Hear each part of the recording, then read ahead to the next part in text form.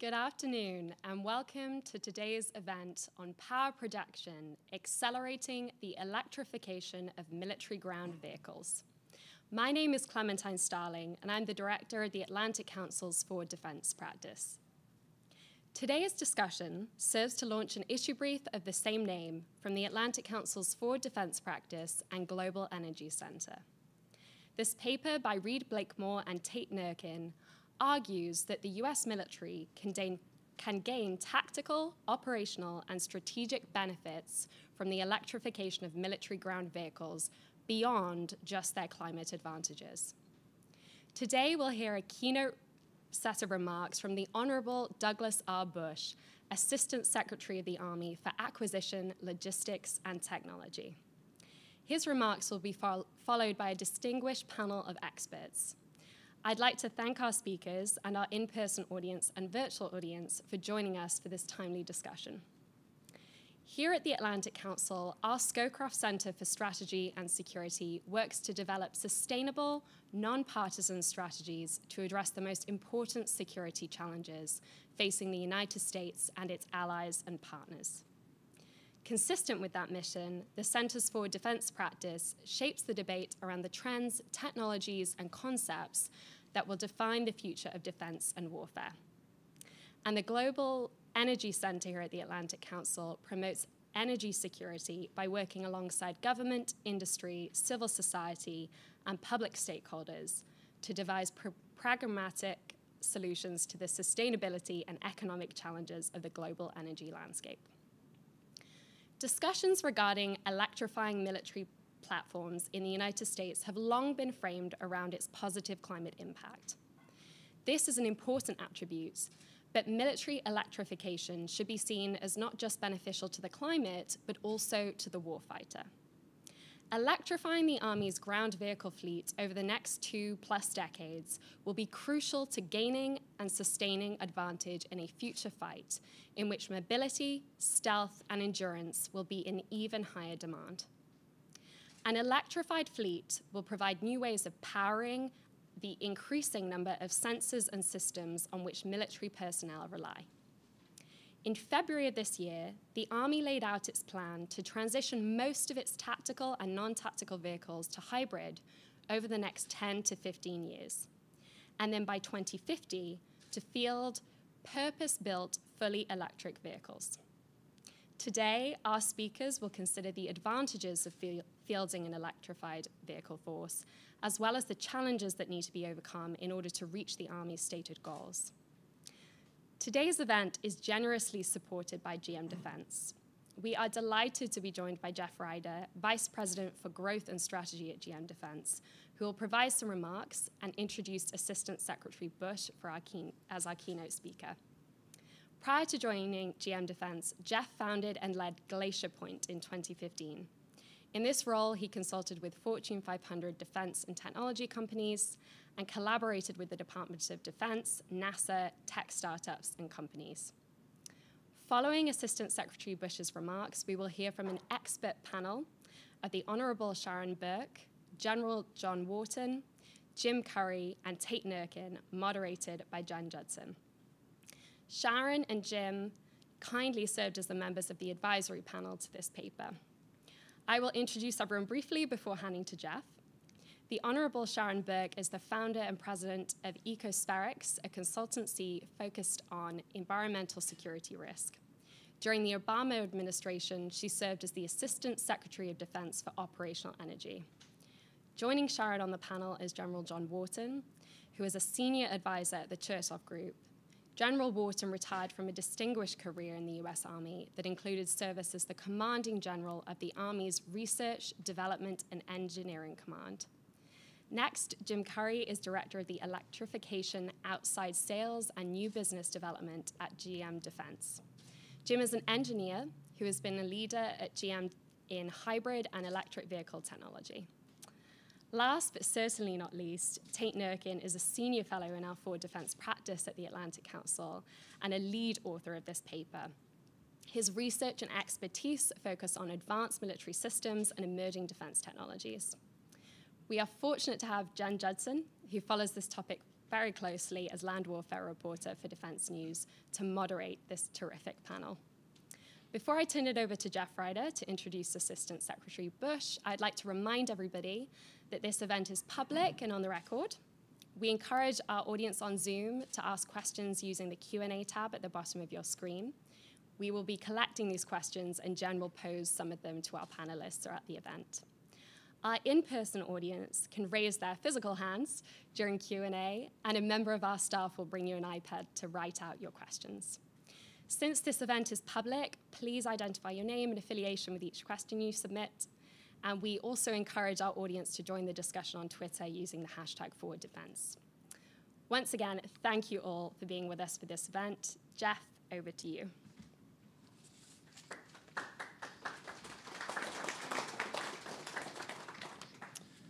Thank you for that introduction, Clementine. Ladies and gentlemen, welcome to the Atlantic Council and welcome to what we believe will be a very compelling and exciting discussion this afternoon on the acceleration of electrification of U.S. military ground vehicles. I'd like to thank the Atlantic Council for the great research they've done in supporting the study and for hosting this event today, and would like to also thank our esteemed friends and colleagues for supporting the panel discussion.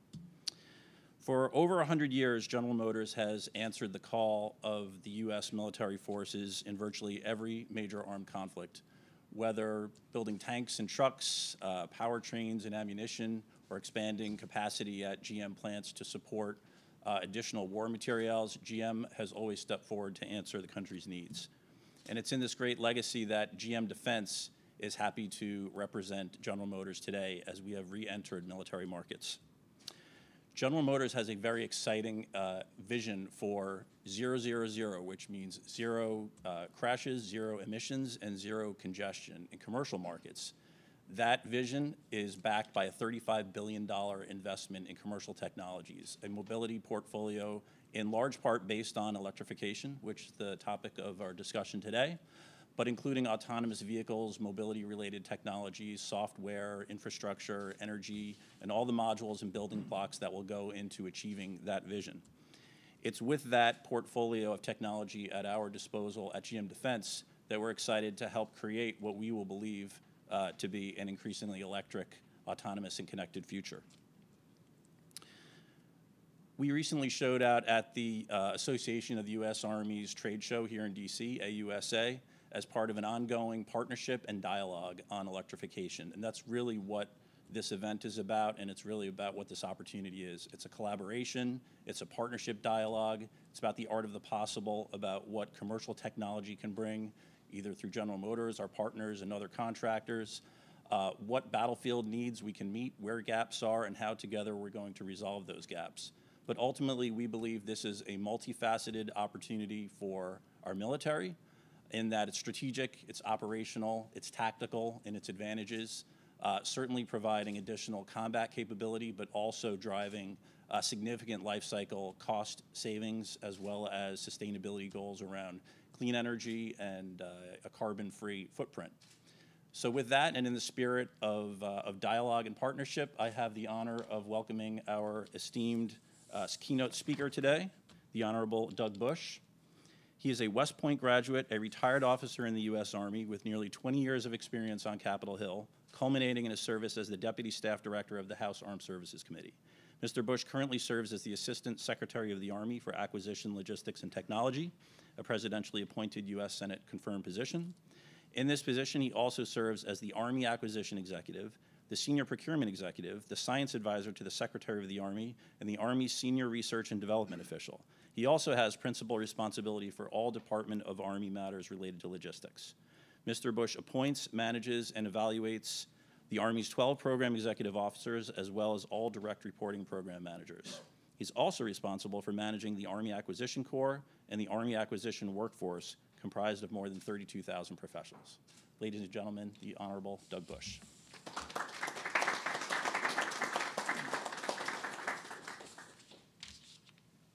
Well, good afternoon, everyone. Uh, pleasure to be here. Thank you, uh, Jeff, for that uh, kind introduction, and to the Atlantic Council for putting together and letting me participate in this uh, terrific event. So, Secretary Wormuth uh, outlined in the Army Climate Strategy that we are in a climate crisis now. It's affecting our soldiers' lives and their families' lives today. We're not talking 20 or 30 years, it's immediate. Experts have been warning for decades about national security threats posed by climate change. Congress, on a bipartisan basis, has directed the Department of Defense to factor in climate risks into its planning since 2007. As a result of all this, Secretary Wormuth has made climate resilience one of her top six objectives as we build a future Army. That's why Army, the Army is leading by example. I'm proud to say the Army was the first service to put out a climate strategy in February 2022, and just as important, an implementation plan in September of 2022. These documents describe the task, resources, and goals that will guide the Army's actions as we strengthen our ability to fight and win the nation's wars in the face of climate crisis while also improving the sustainability of the force. I do want to focus on one topic up front before talking about specific uh, efforts underway, and that's that everything the Army will do to address electrification of Army combat vehicles is all aimed at one thing, and that is making them more effective in combat.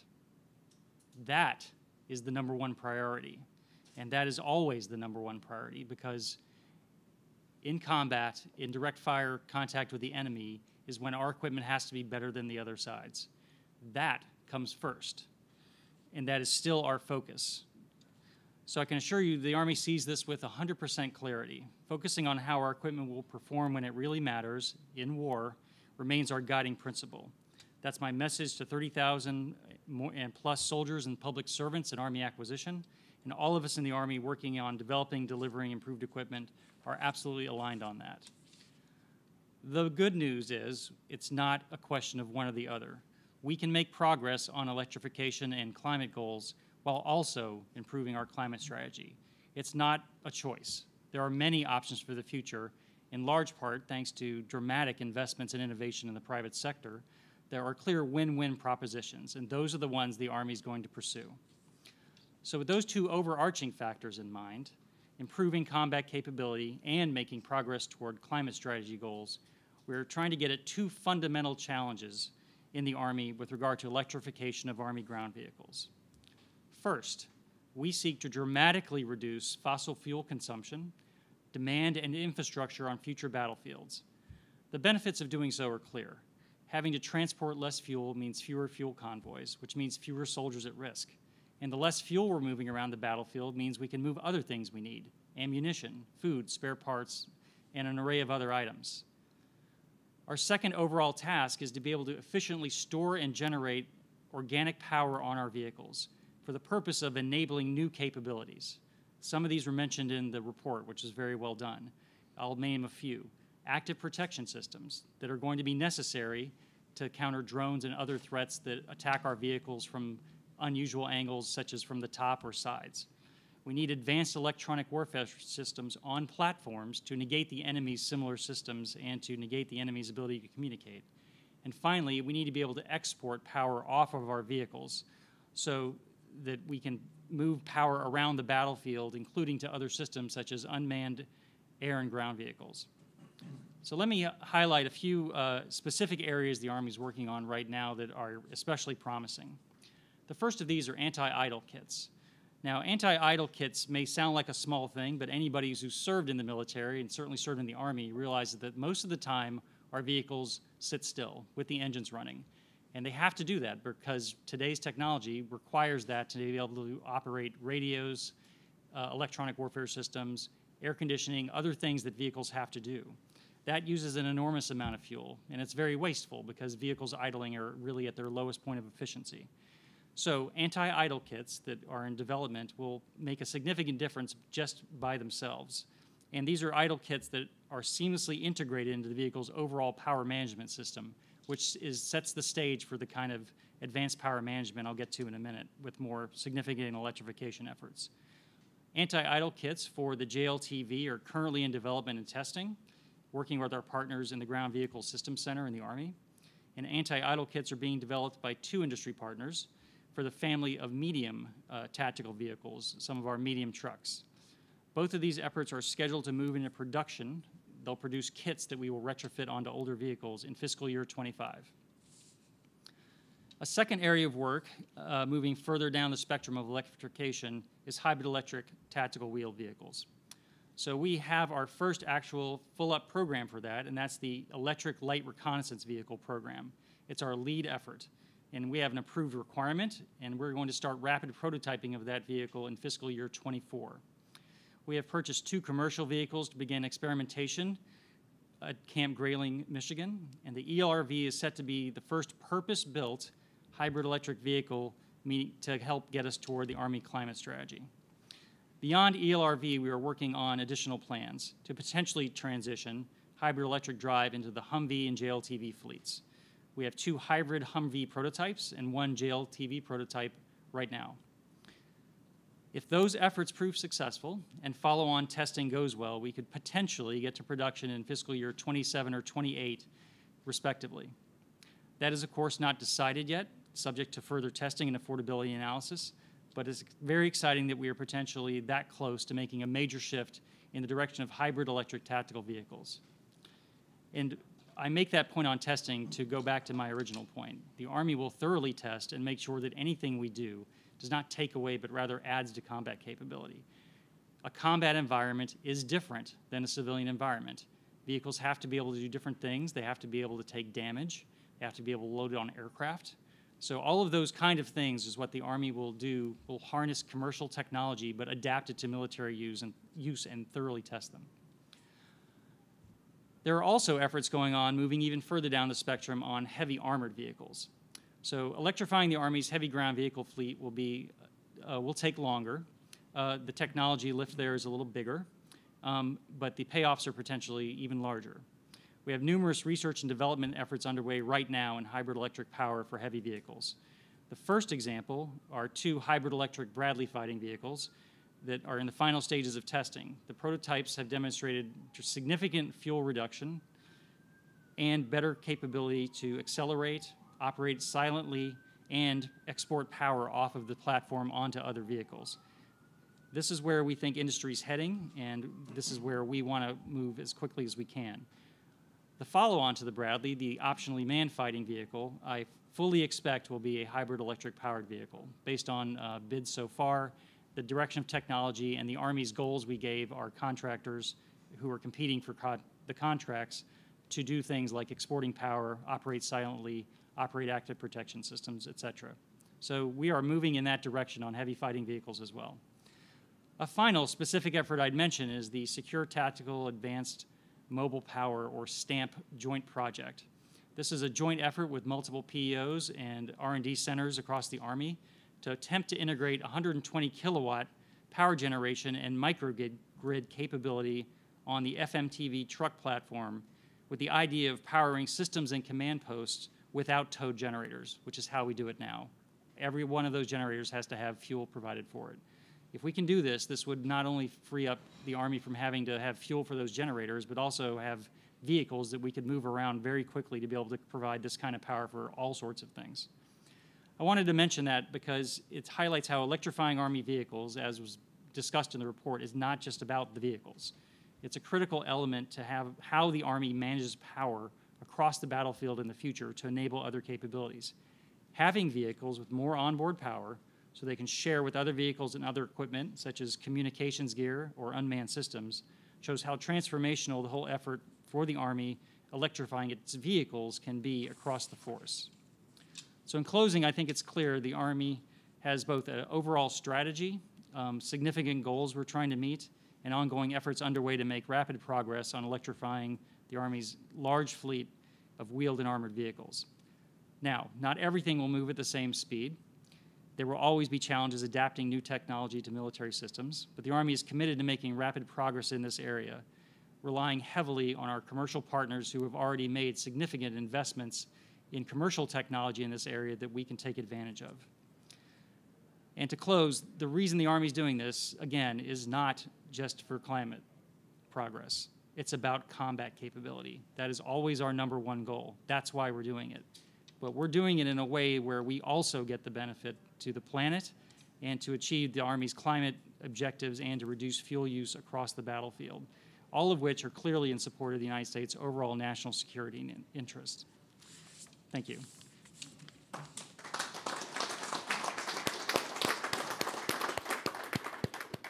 Thank you, Mr. Bush, and, and welcome everyone to the Atlantic Council again to discuss the path forward for electrification of military vehicles. I'm Jen Judson, the land warfare reporter for Defense News, and I'm looking forward to a robust discussion here. And I'm just going to quickly reintroduce our panelists. We have Sharon Burke, Jim Curry, Tate Nurkin, and John Wharton here. Um, I want to leave plenty of room to hear from these folks, so I'm going to ask uh, a question right away to kick off the discussion. And once we've gone through my questions, I'll open things up to audience questions as well. Again, um, please wave your hand if you'd like to ask a question via a tablet, and I will try to get to as many as I possibly can uh, by the end of our discussion.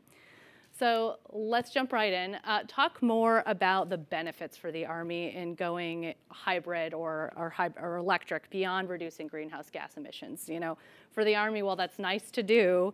Operationally, there are a number of reasons that the Army would want to do this beyond that. Um, in terms of capability, Mr. Bush highlighted that, you know, the idea is to be more effective in combat um, over anything else. So um, we can go in order here. Whoever would like to jump in first, uh, feel free.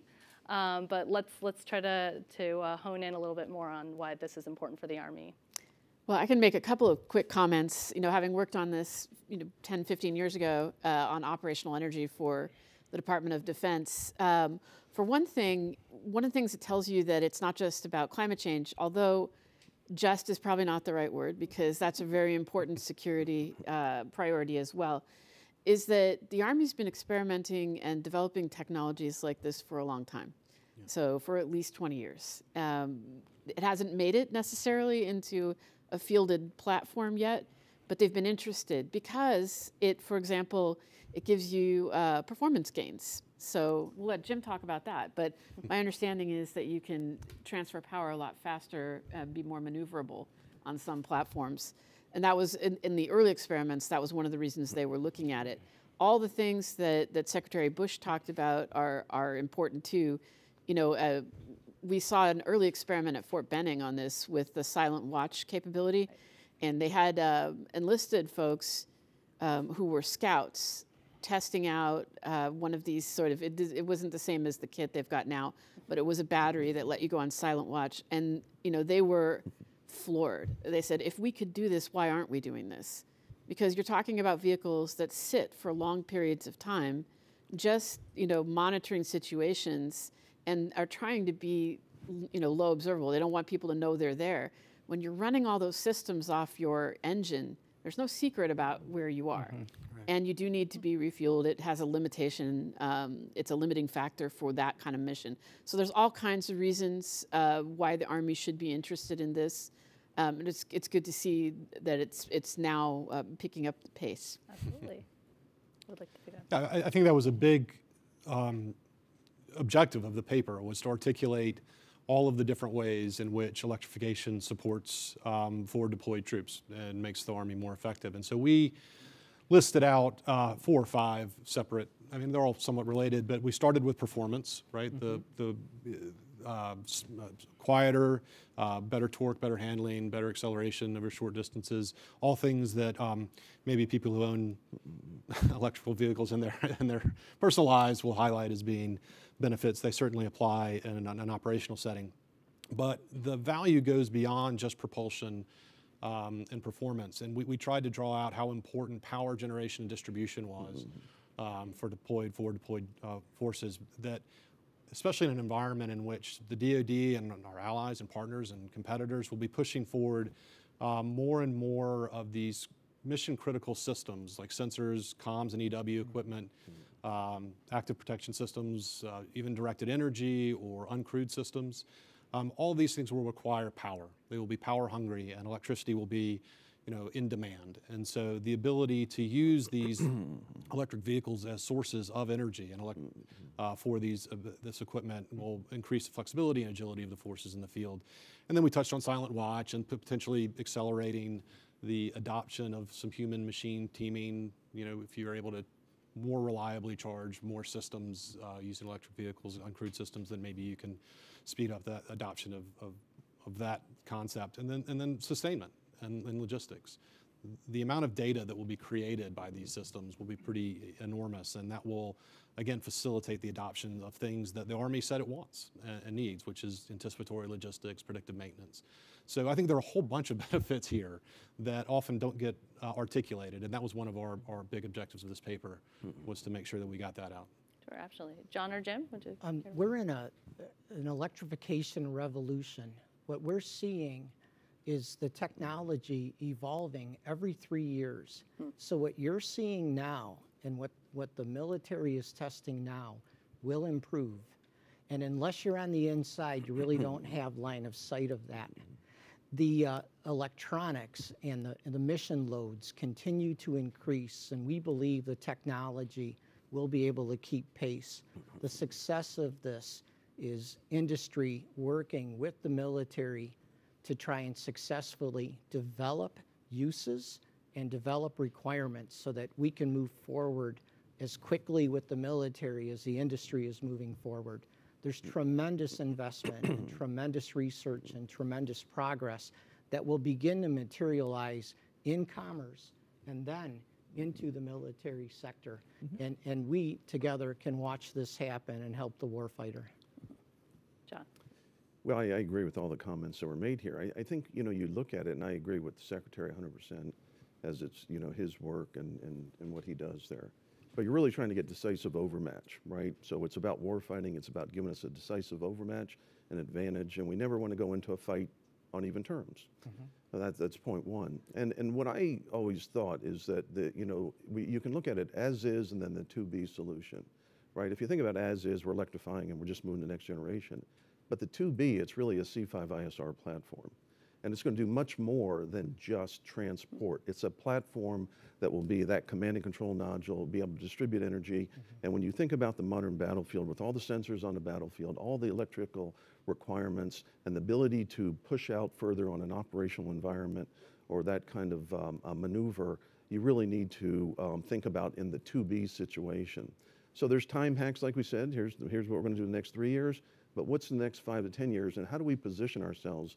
And, and, and I really I was proud that the Army led the way with the first strategy on climate strategy, and, and it was really great work on, on the Army's behalf because that's what we need to do.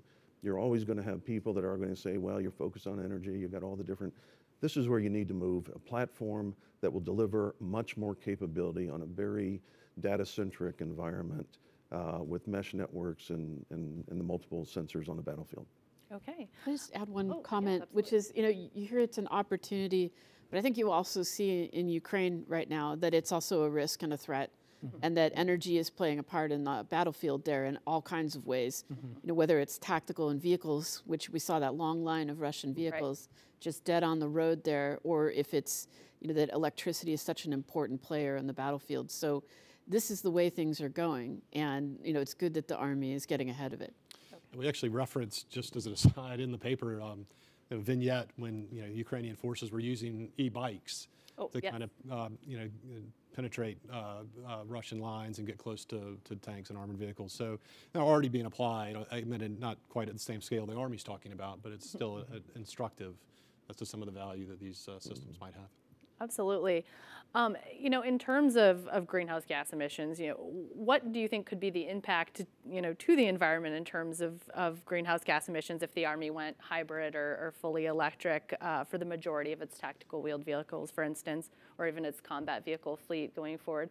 Um, you know, obviously that's still important, like Sharon highlighted. So, um, any sense of what what the impact could be if the Army fully moves off of uh, off of gas-powered engines? Well, I mean, the, the big the big user there is the Air Force. So the airframes are the big. We have to get them on board fuel. too, then. Right, exactly. so so you know we're just going to have to get them next. So, uh, but but there's no question. Uh, you know, the Department of Defense writ large is is um, as a single institution a very large consumer of fossil fuels and a, a considerable generator of greenhouse gases. It's still only about one percent of total U.S. emissions. So. 99% of the action has to be in the civilian sector. But both in terms of the amount of emissions, but also the sort of um, uh, power that the military has, the innovative power, the pull of it, and also the example. This continues to be an institution the Army in particular is trusted by the American people. So for all those reasons, I think it would, it would have a, an important effect. It, if you take a practical approach to this, with the hybrids, if you can save 30% of fuel, you've cut your greenhouse emissions by 30%. Okay, that's simple math. Mm-hmm. Excellent. It's good. Well, the other thing I think you, you, you, you should you should think about is that you know the Army is a service, and and when you're in the labs and you're designing technology and you're moving forward, um, it's always dual use technology. It's not just for the Army.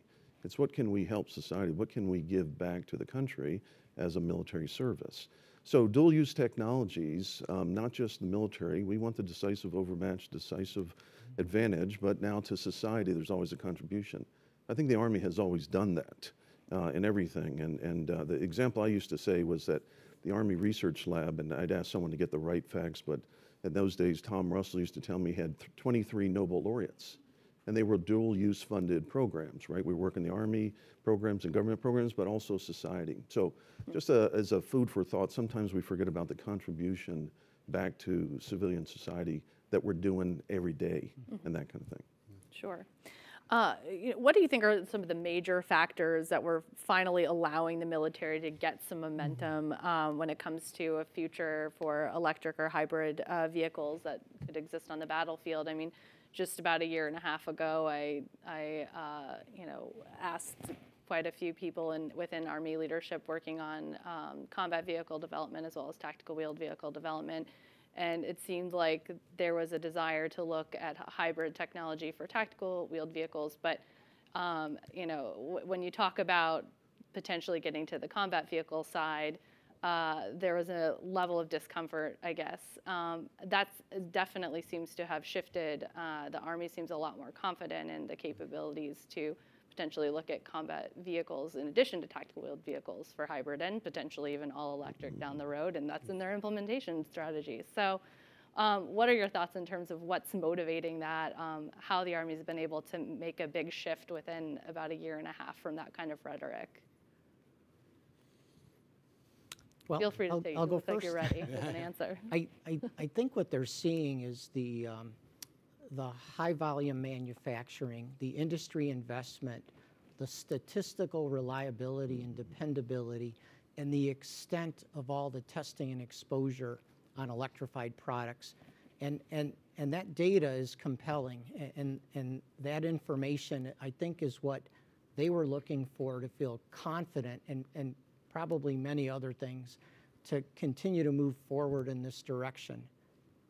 Yeah, I mean, even before the panel, Jim was uh, telling me about the, the EISV and how, you know, having um, a lot of people drive that and test it, I mean, it made believers of people. They saw the performance im- improvements, and I think that's one of the critical things going forward. That, you know, clearly the Army has prioritized given the programs that Mr. Bush uh, uh, laid out, but but actually getting in the short term you know, if it's hybrid, if it's tactical electrification kits, getting them into the vehicles, experimenting, demonstrating the value, getting the narrative that these really are um, an improvement and, and are necessary for the future fight. I think that's that's It, a extremely Two. valuable. Oh, I'm sorry. And um, you know, it's been a rough 20 years for the Army, right, John? I mean, it, it's been, and so it it is time now for the Army to think about the future and to modernize.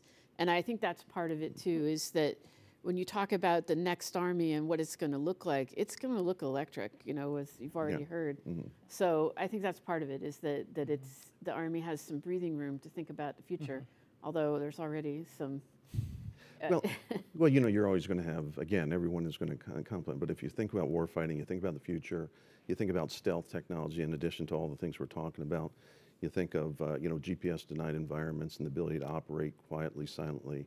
Um, I think the, the concern gets is, you know, well, right now as the technology develops is, you know, how far can I move and how do I get resupplied and how do I generate power on the battlefield, right?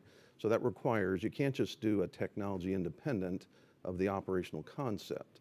So you still got to say, how do I integrate it with doctrine? How do I integrate it with training? How do I integrate in my organization? And what effects does that have in that logistics supply chain and the DOTMLPF functions that have to occur? So that will get everyone comfortable when they can define all those. They define the requirement, which is happening now, And then you're going to implement that across the DOTMLPF spectrum, and then everyone will understand the limitations and capabilities.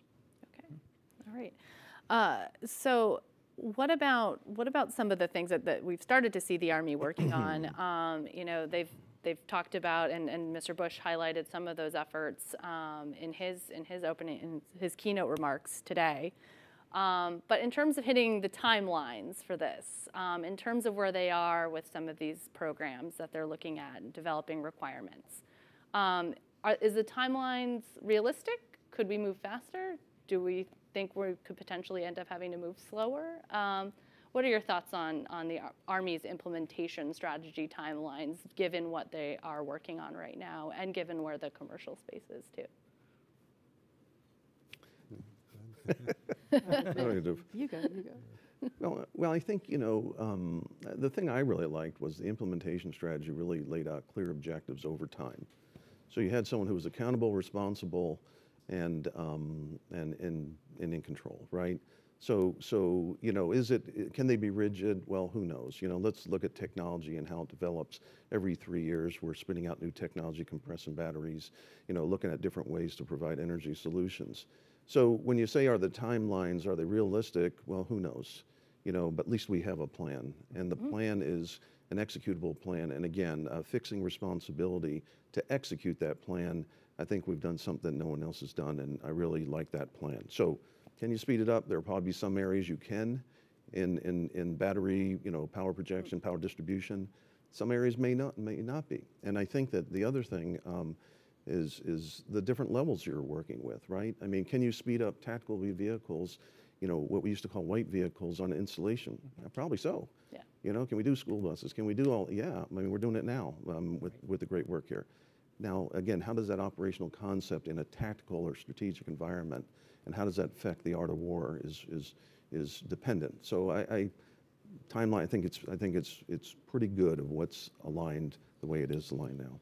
Yeah, I think Jim will clearly have more insight into the, the development of the technologies themselves, but we, we, we highlight, you know, energy density uh, as a key technology development area, uh, charging capacity, which is right now pretty low for the Army um, and any military, and then power distribution, or, or uh, which, um, you know, things like power beaming and potentially uh, potentially you know, small nuclear reactors, although there's some cha- challenges there too. But, but I mean, uh, so I think you know, overcoming those um, and creating the infrastructure that is required to actually get the power to the vehicles out in the. I mean, that that's a big question too. But, but like like John said, there's a plan. It all seems achievable. Uh, but you know, I think Jim probably has more to offer on those specific technologies. Oh, definitely. So I, I think as we look at the potential applications, not only in transportation, but electronics, and not only mobile electronics, but the, the, the soldier electronics,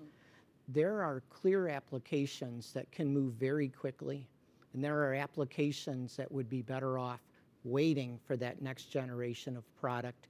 As long as the implementation and the studies don't get mired in that, I think it will go pretty quickly. Okay. And two things, I, just a follow up for you. I mean, the commercial industry is moving really fast. Very fast. Like the mm-hmm. demand, so, so we can presume that, that the military doesn't want to get too far behind that. The Army doesn't want to get too far behind that. Or they're going to find themselves with increasingly boutique That, that's correct. That's platforms that are hard to, to supply. Uh, The other thing that's a really interesting question that you might be getting to is, um, I think that's a really reasonable time time frame. You know that Secretary Bush laid out, and sounds good to me. One thing I do worry about is supply chain issues, uh, because we are seeing that already on the non-tactical side, and I, the administration, the Biden administration, deserves a lot of credit for also taking that on and uh, especially on the critical minerals side and on batteries. They've got a number of initiatives in there that are trying to address that longer term challenge. Yes, and we will get to that. Um, before that, um, I want to ask about what you're seeing in terms of, of funding and when we potentially might uh, see funding growth in the Defense Department to get after some of these things. I mean, there's a lot of things that the Army has talked about doing, like the electric light reconnaissance vehicle, but um, there's, I think, a little bit of funding now. There wasn't before. Um, you know, they've done some funding in the S&T realm. Um, but when do you expect to see, I think, a little bit more of an investment uh, from the Army across its uh, five-year plan, across its budget years in the next, you know, five to seven years or so?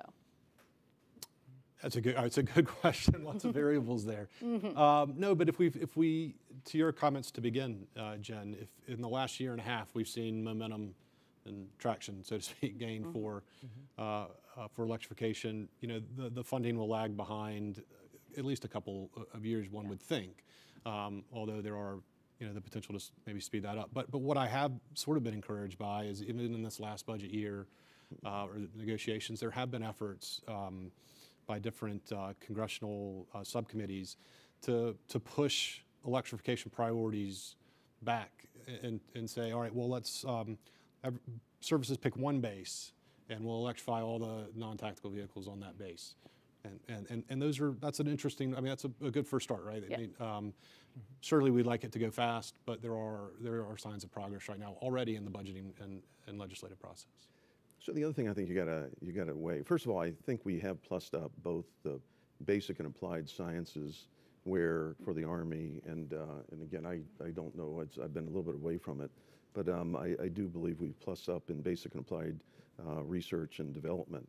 Um, but the, the second thing is you're so dependent upon industry, right? And the and the great work that the great leaders in industry do. Uh, the Army, the military, the Department of Defense can't do it on their own, right? So it's got to be a partnership. So when, when you're thinking about the research and development, you know, on, a, on, a, on the books, the balance sheet for a business, that's all loss. But as you start to be able to get to technology de- development demonstration and then fielding, that's where you start making the money. So where you're at, and, and as you're weighing risk and along that chain here, you really got to make some calculated decisions. I, I think we're pretty on sponsor, and I'm not just telling you something because I'm an Army guy here, but I, I think um, there's, it's probably pretty well balanced. And then you're relying on those partnerships with industry, whether they're infantry, uh, whether they're CRADAs, whether they're technology exchange, exchange agreements, and all the co-development. You know, 1,500 different cooperative research agreements with industry. So, so I, I think it's, it's, it's, it's in the right pattern of going out there. Uh, It's not like we have a big gap there um, that, oh my goodness, you know, and we need this big mountain climb here. So, Yeah, There's been, you know, I don't know, I don't think it's happened yet, but there's been some discussion about Army Futures Command having an energy cross-functional team, and I think that would help a, a mm-hmm. great deal as far as you need the requirements and the doctrine, all the things that you were talking about, John, to, to be mm-hmm. to be in place too, in order to get the money to move. So. Mm-hmm. All right, well, we'll see if that happens. um, in terms of, of where the Army is headed and what it's investing in in terms of science, tech- science and technology, as well as implementing things like anti-idle kits and, and working on things like the hybrid uh, Bradley, for instance, there's a lot of things that are going on.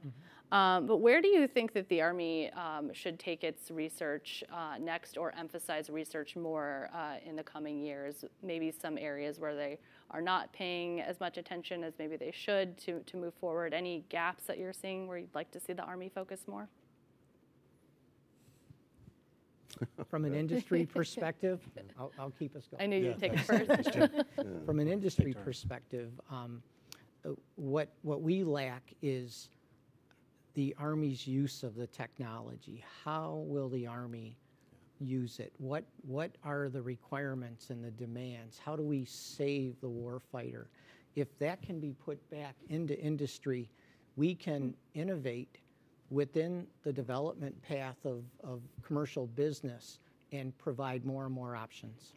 okay, interesting. I always think you have to separate the science, the technology, then the capability for one, mm-hmm. right? In the mm-hmm. in the thing.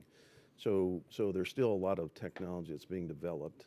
There's still science out there. So you're going to your universities for your your basic, you know, BA ones, whatever they used to call it, BA ones and twos, basic applied science.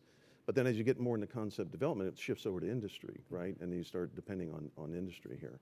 So, so um, and then and then as you work your way through. So I, I think what you have to do there is um, is um, then you have to operationalize that. And that Rubik's cube. Well, I'm going to an Arctic environment here with this capability. How does it perform in Arctic? And that's where all the testers come into play. How do I? Well, how does it work in a humid jungle? Right. So, so there's still a lot more in the development as you operationalize the technology as it develops, then you can spiral it in as it matures with, with industry helping. Okay, perfect segue, I think, to, you know, the alternative side, which is how is the, how is industry stepping up to invest in technologies that will ultimately uh, be applied to military use? Um, You know, how are you evolving in terms of battery uh, development, things like that, battery density issues? Uh, And I know that you'll probably want to take this first. It over to you, Jim. Thank you. So, um, you, so first of all, the, the technology is moving quickly on its own, just through the, the sheer momentum of, of the commercial sector in many, many areas, not just automotive, but trucking, mining, locomotives. Uh, eh, you know, we've even done a Zamboni, believe it or not, okay? Um, And, and as, as the requirements are laid out, I'll, I'll give you an example. We took the EISV to Fort Benning, and there were two notables that, that stood out in my mind when we were watching the soldiers maneuver. One is when it was behind the trees, all we could hear are the stones hitting the tires. Hmm. And we were thinking, we've got to make those tires quieter. That's a problem. no, no one ever thought of that before. But mm-hmm. the second part of it is they were learning how to use it and, and trying to figure out how to apply it in warfare and what a mission, what an electric mission might look like. Hmm. This, this is the frontier that needs to be fed back into industry. So how do we do that? Um, providing um, samples and demonstrations and, and rides and technologies and ideas and that exchange with, with the defense sector, I think, is going to be the single most valuable tool. Okay. Anyone else want to pile on? No? I was going to go back to you know the Army's responsibility here too in the acquisition process. This this has to be the whole acquisition process from strategy development, planning scenarios, concept development, requirements. If energy is not considered in there, um, what it means at a tactical level, an operational level, strategic, geostrategic, then it's really hard to bolt it onto the back. You know, you can only retrofit so much. So if you're not considering energy in the whole acquisition process from the very beginning of the JCIDS process, then it, you're not going to get to the really significant gains. So it has to be the whole thing. Absolutely.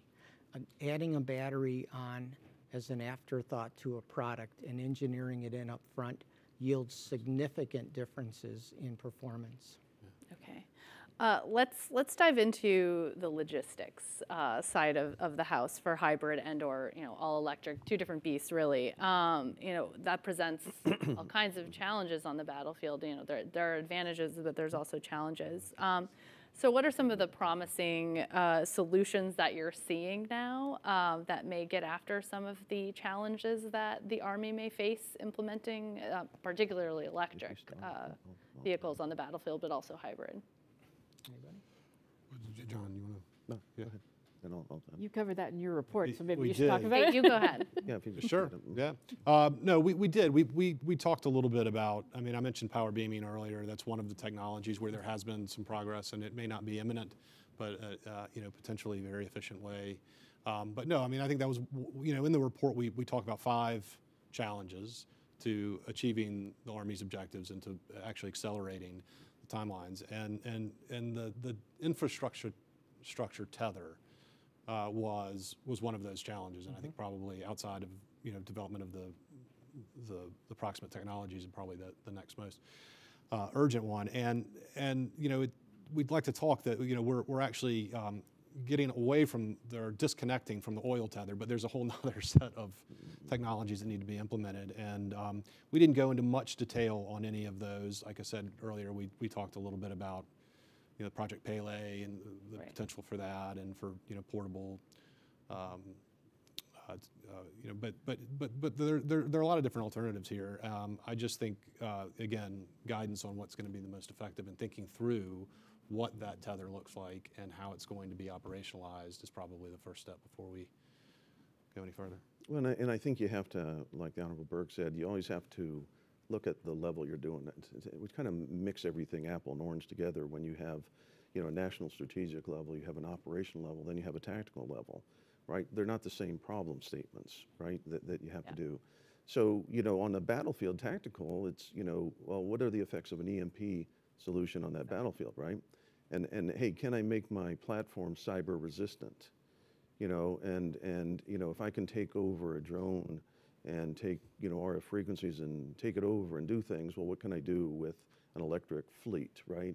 Uh, so the tethering, the electric fleet, but that's a different problem than at, at a national strategic or an installation level um, and what we have to fix there. So I, I think uh, just, I want to always have people think apples to apples, oranges to oranges, and that. So as they look at this problem, it's not just one, one thing. Uh, Operationally, there are some factors that you got to consider, and, uh, but at the national level or an installation, it's a different problem set. Absolutely. Which, which actually, I mean, I think if we go back to the conversation about timelines, it's a, it's a similar theme, right? Some things are going to go, th- th- this is not, you know, there, there are layers to this problem, and some things will move faster than others. But, but to John's point, you know, you have to do the apples to apples and comparisons. Well, Maybe this is a good question for Jim, but where's the technology in terms of things like much faster charging, for instance, or power beaming capability? Um, Where is, where all, where is all of this in sort of the realm of the possible? Oh, it, it, it's all possible. So um, as batteries become more energy dense, in general, naturally, their power capability is going to increase, and the ability to charge them more quickly will proportionally increase as well. It's just inherent in the chemistry. And so as um, more and more uh, uh, technology and, and chemistries evolve, you're going to see increased charging capability. We have um, demonstrated hydrogen uh, charging already at, at uh, uh, quite, quite a, a good clip, basically. There is uh, the option to generate or charge. There is the option to bring uh, batteries into the battlefield on trucks. It needs to be developed and tied to the objective of the mission and then refined. It is not refined. Yeah, okay. Anyone else want to build on that, or I can go to the next question? Y'all good? Okay. Uh, Then let's build on, you know, how has battery technology specifically evolved, and what seems to be the most suitable for military purposes now in terms of battery? Well, well, it, it, it depends. Um, it dep- again, it depends on the application. Sure. So in general, if you look at batteries or a high, just call it high voltage electrification of, we'll call it mobile products. Um, as you, you can today, with today's technology, go all electric up to about 11,000 GVW. Now, again, you, you make trade-offs as you get up there, but then at about the 11,000 GVW window, it, it makes way more sense to go hybrid today. Hmm. It may not in the future, as that, that will be a moving target. And so you have to look at the application of the technology, the benefit you want to derive from that system, and then mm-hmm. Place the right battery technology in it. Okay. You all know, right. Jim, there were some concerns uh, initially with some of the technologies being deployed in Afghanistan about lithium batteries and safety. Do you think that's still a concern, or what do you see the prospects there? in, integrated correctly, it can be managed. And so, but you have to look at the battery as a system. You have to look at the chemistry and how it behaves, the battery pack and how it behaves, and the application into the product, okay, and where protection is needed. There is this um, in, inherent belief in general that batteries fail one way and they catch on fire. That's not true. As you begin to go deeper and deeper into the technology, there are several potential failure modes, many of them very soft, very, very soft. And then the, um, the challenge is de- dealing with that catastrophic event. That'd be the same for some of the extreme conditions that these vehicles might need to, to operate in. So the extreme conditions um, can be managed, and they're managed today. Um, uh, batteries are heated and batteries are cooled with battery power. Okay. So you have the ability to manage that range, and you can you can actually tune what you want to do with that, and and um, gain more battery life or give away battery life for the benefit of something else. And the the benefit here is you can you calibrate a battery in a usage window. You, when you go into battle mode, you want to save the soldier, okay, and you don't care about the battery, and so you want to pull everything you can from it, and that capability is there. Okay. I, mean, I think there's a global race for battery technology right now. Yes. And so uh, we are going to see improving technology, improving chemistries, all of that, um, density, everything. So there's a lot of investment and a lot of effort. Yes. But I think the other thing, I have a question here, but I think that we also have to remember the vulnerabilities of the supply chain, right? So they were discussed before and, and, and rare earth and harvesting those minerals, but you still have to build an industrial base that can produce batteries to scale and all the different types of batteries. Absolutely. And we're not there yet either. So, so um, as we think about our plan, our strategic plan, our roadmap, you know, the limiting factor is really going to be our ability to produce, our ability to harvest rare earth, bring it back, refine it, get it to um, the production capability, manufacturing base, and, and all that. So, Well, that's great. You just started to answer uh, my next question, which is Is the U.S. too reliant on foreign resources when it comes to battery material and technology? Uh, and anything that are, that you're seeing that shows that the U.S. is considering how to become more self reliant in this area? The U.S. is definitely too reliant on, uh, and you know, there are a number of critical minerals that the United States is almost completely reliant on China for. China has a comparative advantage in processing, so not just in the geological resource, and for them it's rare earth elements. They've also made global investments in cobalt, for example, niobium in Brazil, lithium. They've had a very thorough strategy, and so their their advantage is profound. And also the processing of these minerals, because these minerals, these boutique minerals like lithium or cobalt, where there wasn't a ton of demand maybe 30 years ago, um, you know, that you don't just dig them out of the ground. They're usually associated with other things like copper and have to go through some significant refining that's a fairly dirty process. So China owns that. Um, we have all allowed that to happen over time uh, because it was cheaper, it was easier, their environmental restrictions are less. And I think there's now a shift back over in the United States, in a lot of our partner and ally nations, to rethink this. And um, the United States is making significant investments. This starts with the Obama administration, the Trump administration continued. It's one of the few things where we have a good bipartisan um, commitment. You know, it's an executive order that Trump put out that the Biden administration kept, and the Biden administration has really brought a lot of effort to the to with investment policy, all kinds of things. So they are taking a very serious look at how to, what they say, friendshoring and reshoring uh, this capability. Okay. That, that was, excuse me, it's an Atlantic Council event, so we probably should talk about allies and partners. That seems to be a common theme, and, and rightfully so in this case. I think there are opportunities. There may be some limitations because the EV market may be very competitive, but I think there are opportunities because the United States isn't the only country that is reliant on China for this in the supply chain, and is, a, uh, is certainly not the only country that's concerned about it. And some of our closest allies and partners have already taken steps, I think, to kind of redress this, and, and there may be some value and some opportunities there uh, to work to work together. Okay. For sure, and the, the, some of the, that's the Minerals Security Partnership at the State Department is a new one Yeah. that's specifically aimed at allies and partners. Yeah, So I that's think good. it's a good, a good story there. and you're wondering where industry comes in. I'll tell you. so um, the earlier batteries contained about 20% cobalt, which is the the rarest material, arguably, in a battery. The newer materials contain less than 1%. So as the mineral availability of this next generation product begins to materialize, the technical adjustments, if possible, can be made and will be made to make the minerals readily available and lower cost. Okay.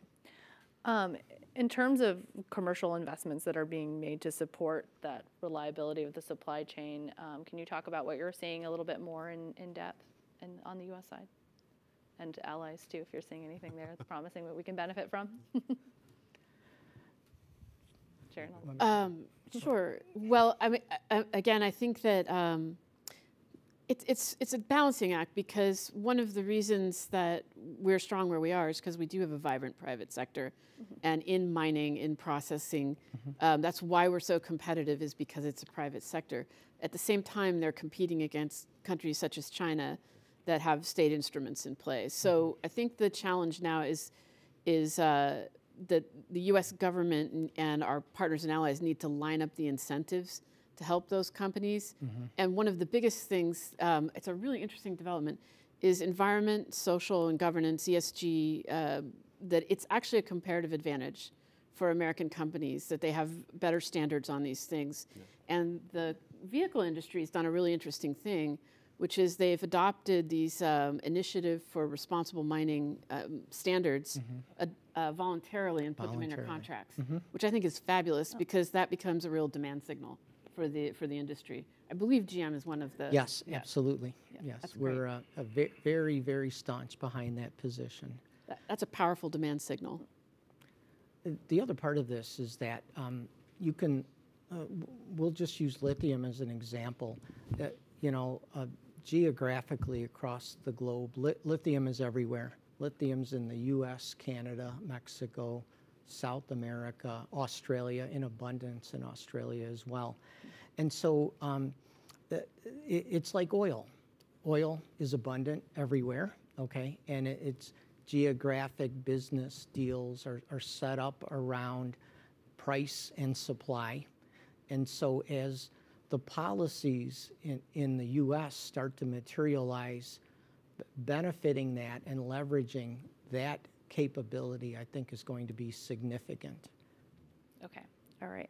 I'm going to shift gears a little bit back to uh, operational considerations. Um, and John, you touched on this a little bit, but in terms of you know how we think about how the how the threat might go after electric vehicles or hybrid vehicles, um, what are some of the things that you're concerned about uh, when you put a hybrid vehicle or an electric vehicle out there?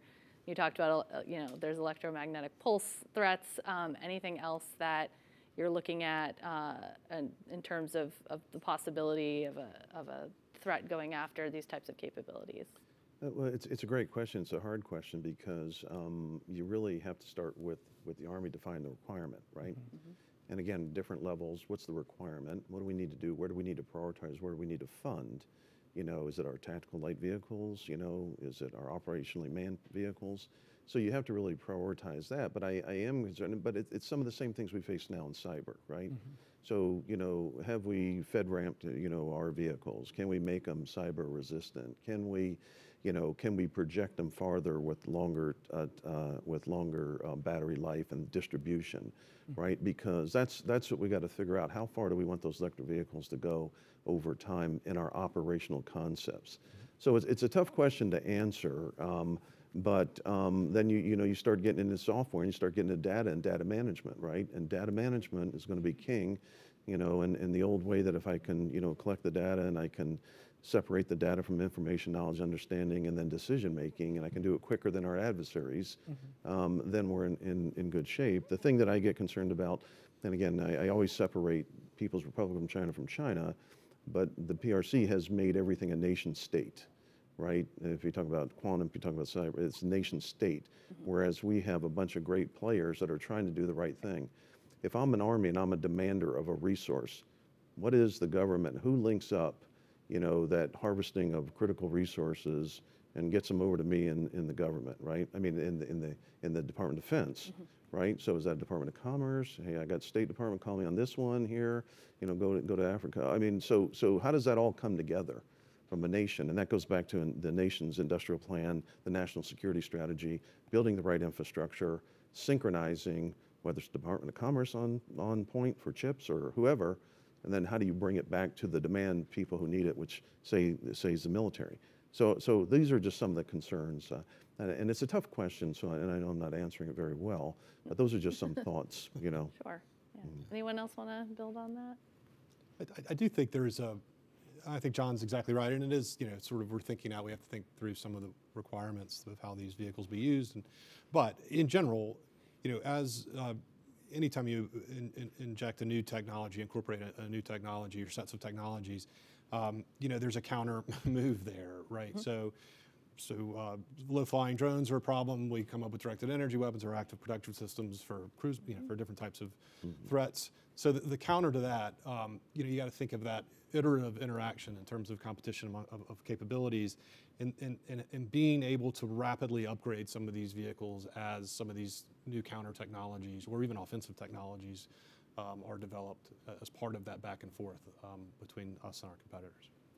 I mean, you're going to have to generate power somehow, and that, that's going to be a new target. I, you know, you've seen e- even in, in Afghanistan where we didn't have a particularly uh, modern foe, but they were perfectly capable of, of targeting fuel supply lines. And, and of course, they were also easier in some ways because they weren't as protected. So they'll always be looking for a way, and when you're generating power, there's going to be some kind of target.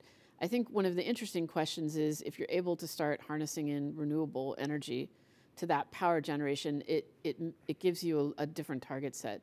You know, we're, we're going to be looking at adversaries that have precision munitions, but if you're able to generate in a lot of different places on site, that's a harder target to hit than if you have some kind of very clear power generation. So I think it's definitely a question is how is it going to open up new vulnerabilities? Sure.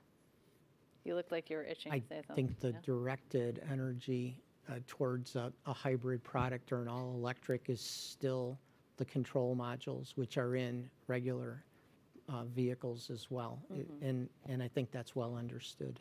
Okay.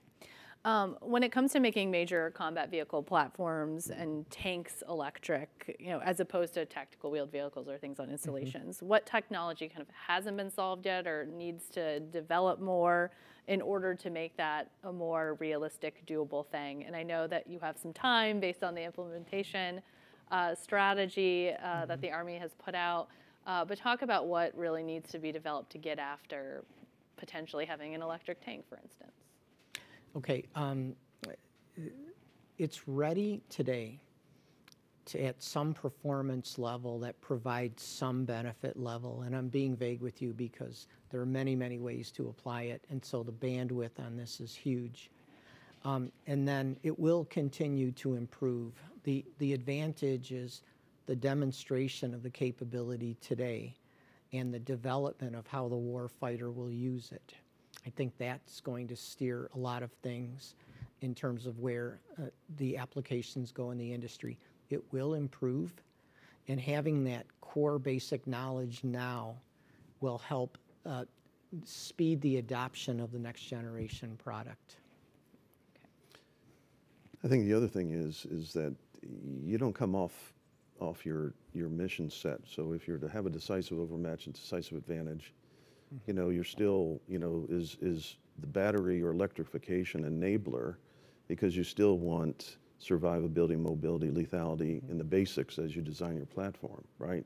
So so um, are you do you focus on we have the technology that can get us and, and improve it, but you still have to trade off on all those other functions as you design the next generation to have the best, right? So you don't want to introduce a electrical, you know, uh, ground combat system, but it doesn't give us a decisive overmatch because we made electrical, right? Mm-hmm. So survivability, mobility, lethality, all those basic design principles have got to be, you know, incorporated with the electrification. Mm-hmm. I mean, there's a reason that maneuver warfare grew up with fossil fuels because the energy density of, of mm-hmm. petroleum is just hard to beat, and tanks are heavy. So, I mean, that, that's going to be a, a problem Yes. that has to be worked out. Definitely. Uh, how can the Army and industry more effectively work together to help accelerate the adoption of electrification uh, innovation? And what have been some of the hurdles and, and how can they be overcome?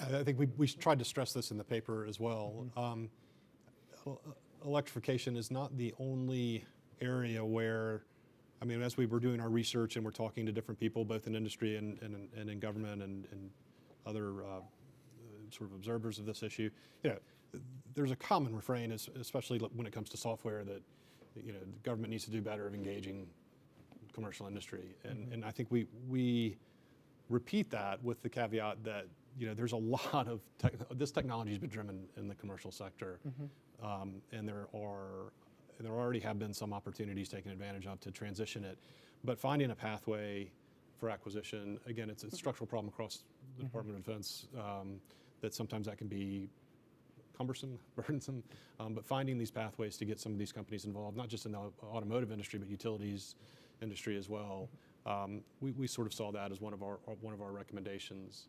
Um, and I think also the question that, that we keep coming back to, which is um, that next level of detail on the requirements. Um, Because we've seen, um, you know, the GAO even kind of saying, hey, look, it's, it's sometimes hard for industry to take IRAD money for priorities today that aren't priorities tomorrow, or where there's not a lot of clarity about exactly how this type of capability is going to develop. And that is disincentivizing for many of the, the, the companies that uh, are in this industry. So, um, so yeah, I think those are two things that, Uh, again, it, they're not unique to the Army, they're not unique to electrification, but they seem to be present here as well. I think energy loses out, you know, when it's cost schedule performance and, you know, and energy doesn't have some kind of military value in the acquisition process, then it's easy to, to trade it away. So I think the Army really needs to, to develop what's the military value, not just the life cycle cost return, but the battlefield advantage of better energy performance, and be honest about that in the acquisition process. Because until that that's in the contracts, then then you're never going to get it in the in the equipment. The other way to improve collaboration is simply by virtual design and analysis. Uh, working uh, with the government and the DoD and, and doing virtual spins and virtual design iterations before the first product is even built will provide tremendous benefit and, and tremendous speed to the progress of any project. Yeah, so in the Air, in the Air Force, at least, there there is a I don't know if it's a trial program, but they had the E acquisition series where um, there was a requirement to, to bid on that that the, the design be done digitally, digital engineering, virtual engineering, um, and, and you know I, I'm not recommending that necessarily for this particular program, but the idea that placing emphasis on those things that can speed up the design, increase collaboration, uh, and and allow iterative sort of computer simulations to figure out if these things are designed to fit. That that that does seem like a really beneficial. Okay, we are just at about 15 minutes, and so I'm going to start asking questions from the audience. Uh, to start, we have Byron Callan from Capital Alpha Partners asking, is there an economic or cost savings argument to make in favor of electrification? It would lead to fewer vehicle par- parts, fewer tankers, less demand for fuel, et cetera. I think he answered his own question. Yes, good good question and good and good answer. very good No, but but the logist the sort of the sustainment uh, is something that we tried to, to to draw on the paper and the compressed space that we had. And you're right, fewer fewer parts, easier to sustain. Um, you know, the, the, the logistics, both in terms of, of physical cost and then cost uh, in terms of risk to, to humans who are involved in the resupply of fossil fuels. Um, yeah, we did try and, and draw that out. I think it's a great point. Much simpler to repair and um, reliability factors higher.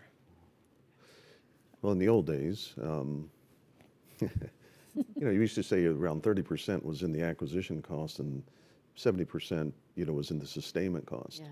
So you're really getting that of the total life cycle of a piece, of, you know, and then go through the life cycle and end of end of life and FMS or excess defense articles. But but if if 70% is in the sustainment, roughly plus or minus, um, you're really cutting out a lot of that sustainment in those parts you just talked about, repair parts, fuel, you know, foreign military sales, or that's to our advantage. But those kind of things certainly get at the 70%. Um, of, I don't know where it is now, but of the problem, right? And then in this year, when fuel prices are really high, uh, it's something that I'm sure that the, the Department of Defense would like to not have to figure out mid-year, Yeah. late in the year, how to adjust. Very, very good point. Um, Joseph Barnes asks, are there any ongoing research and development efforts to enable the wireless transmission of electricity across the battlefield via microwaves or other technologies? We did talk about this a little bit. Um, so is there anything going on in the military? Are there any thoughts on using deployable small modular nuclear power as a sort of base station feeding the wireless transmission of electricity? It's maybe getting a I little got to give a quick shout out to um, to Ruth Ann Darling at the Operational Energy uh, Innovation Office, who very early on championed um, power beaming and wireless transfer of power. And I think when she first did, nobody in the Department of Defense thought that was ever going to work. But it's they they've made a consistent investment, and it's getting increasingly promising. So And I know you guys wrote about the small modular reactors as well. We did, yeah. I mean, again, this uh, it was a relatively compressed discussion of these technologies, but we wanted to highlight that the, there is progress being made through, uh, again, Project Pele is moving, moving forward. This is an Army program to, to test the viability of small nuclear reactors. Um, and, and power, program. pardon? Uh, Strategic Capabilities Yeah. Office program. Yeah, right. So, so yeah, I mean, I think that there is some promise there. Um, yeah, that's all. So we, we, we didn't go into the timelines of when these things are likely to be um, likely to be deployable, but but we did we did mention them as, as areas of promise. And the Air Force is moving ahead with a small modular reactor at Fort Eielson as well. So that's not quite as small as uh, Pele is talking about a tactical microgrid that would be deployable. Um, I think there's lots of open questions about whether that's going to work out, including overflight rights, you know, Right. things like that, uh, safety issues on the battlefield. Um, but I think you know you got to experiment with everything. We need to, you know, have all the options on the table. I think for for a fixed installation like Eielson, that's much nearer term, and and I think you're going to see that happening soon. Yeah, Well, and, you know, we were asked to help in Puerto Rico, and years ago, we wanted to bring power to the island, and we couldn't, but then what we did was, uh, we were able to bring a ship down and run power off its reactors right to the island. And then about eight months ago, probably about a month ago, we were trying to get the island to think about that as a solution for Puerto Rico. It was no, no, no. Then all of a sudden, hey, we're open to it, right? Because a small modular reactor is, is pretty small. Where we ran into problems was, was not so much the reactor, um, but was with the fuel, the spent fuel rods and Department of Transportation transporting those. So, but the question is, is now, how are you going to power Ukraine, right? I mean, um, how are you going to generate power if all the infrastructure is taken out? And the question is, are small uh, nuclear reactors, modular nuclear reactors, is that you know a solution, you know, to disperse in the country or whatever? I don't know, but the the point I wanted to comment on Sharon is that just like in logistics, you have to get these country agreements right in place. You can't just fly over a country for nothing, um, and uh, or without approval. So if you were to introduce energy solutions, modular nuclear devices on, a, on an area, that country may or may not allow you to use that in their country. And I would suspect you're going to get a lot of pushback in that. So just some considerations as you think through those, those scenarios. Absolutely. Okay. Uh, next question comes from Edgar Mueller. Can you talk more about the plans for hydrogen fuel cells in this context? That's you. Absolutely. Absolutely. So the hydrogen fuel cells have a wide ver- uh, array of applications from uh, product charging to uh, backup power to replacing generators. The, uh, the storage capacity is fairly uh, compact. The mobility is very good, and the amount of energy you can get from uh, several hydrogen cy- cylinders is significant. So the applicability is there. The technology is developed. It is functional. It is reliable. We have a small assembly line already making those, okay, and can deploy them virtually anywhere. The administration's making a big investment in hydrogen technologies and with hydrogen hubs around the country, so um, that should help as well. Absolutely. And there's a couple of requirements out there internationally, you know, to position them out in the Pacific and things of that nature too, Okay. just for energy solutions. Okay, great. Uh, next question from Emma Ernst of GreenMet. Will the implementation of military electrification also solicit domestic critical mineral requirements, as we have seen in commercial commitments? What about mineral stockpiles for additional military needs? There is a national stockpile that the Department of Defense is the executive agent for and manages, and they are constantly adjusting it. Um, so it's uh, it's a national stockpile, so it's not just about DoD needs, but DoD needs are certainly taken into account. So um, it's not only a good idea; it's happening. So, um, and I think for domestic production, I do think that there's also some interesting questions about the Defense Production Act and the stockpile authorities and whether those couldn't be used to also uh, get on the production side, so for processing and production, and whether you couldn't look at security that way. And I think that would be a very promising development. So not just stockpiling, which are literally physical stockpiles of stuff, Yeah. um, but also stockpiling capability. I think would be a, a really interesting step for the department to take. Interesting concept. Okay. Um, okay, so next question comes from Selena, former young global professional with Atlantic Council's Global Energy Center. The Army has been the main sector where industrial policy has been effectively applied within the U.S. Con- context, for example, with the development of nuclear. Given this dynamic, could you expand on specific dual use technologies the military could propel forward to bring innovative climate technologies closer to commercialization?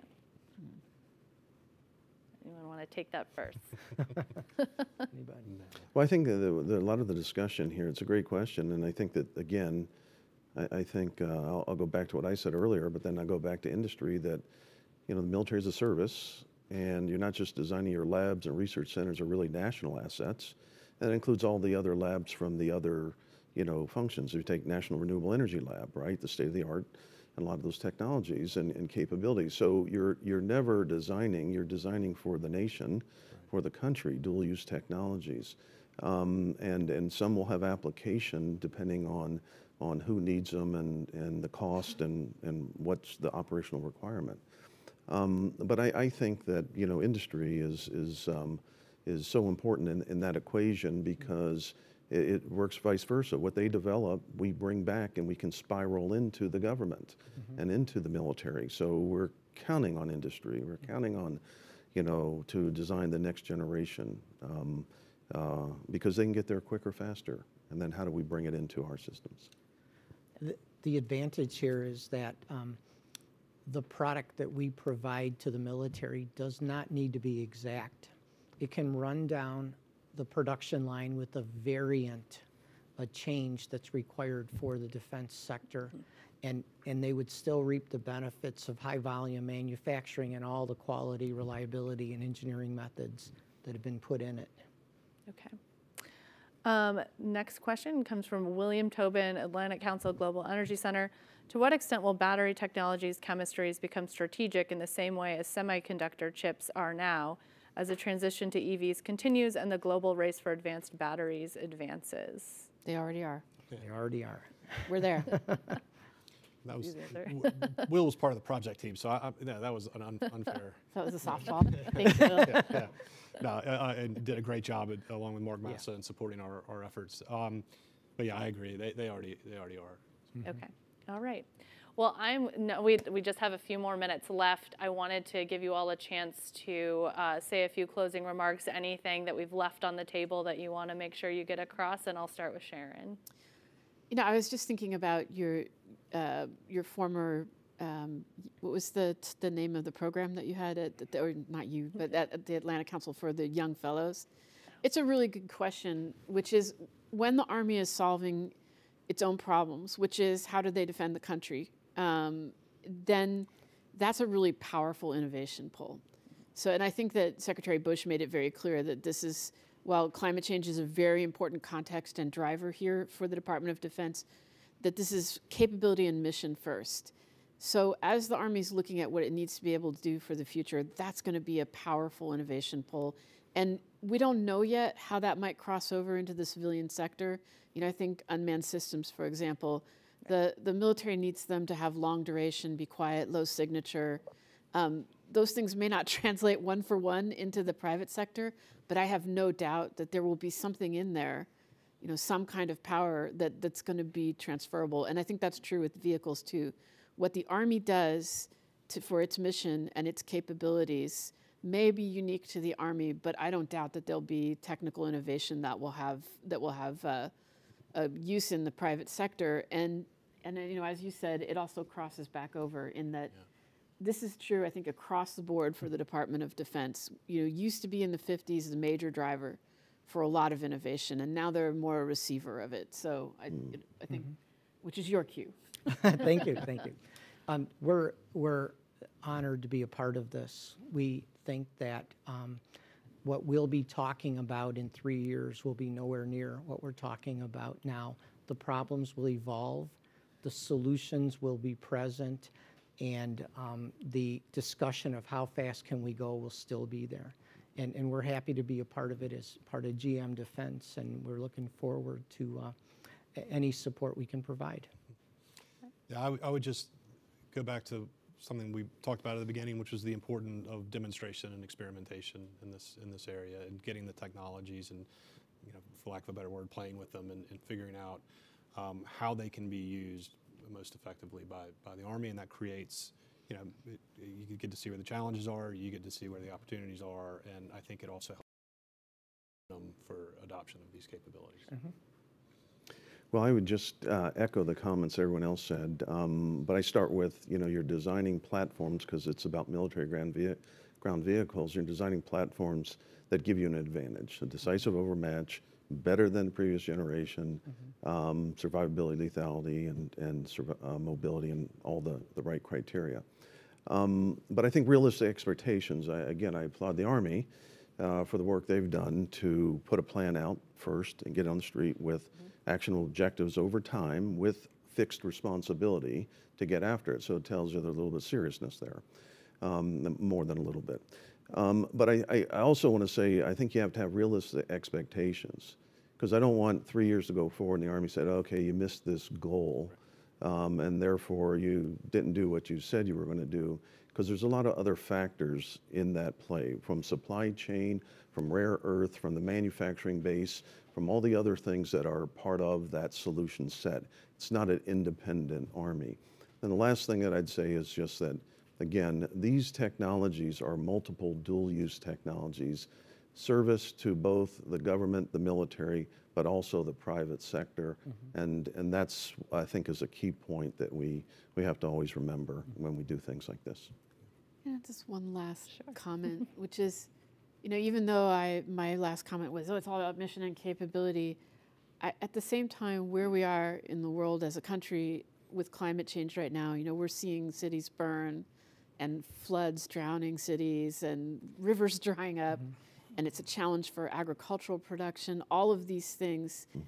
and it matters that that there be significant action. And again, for the Army, you know, whose primary mission is warfighting and it is a trusted institution in the United States and around the world, to take this on and take it seriously, e- even though it's always mission and capability first, the fact that they're saying this is important and we have to take account for it really matters. It makes a big difference. All right. Well, thank you all so much. Wonderful closing remarks. Thank you so much for your insight throughout this discussion. And also thank you to the Atlantic Council and to GM Defense for the event today. Mm-hmm. Thanks, John. Thank you.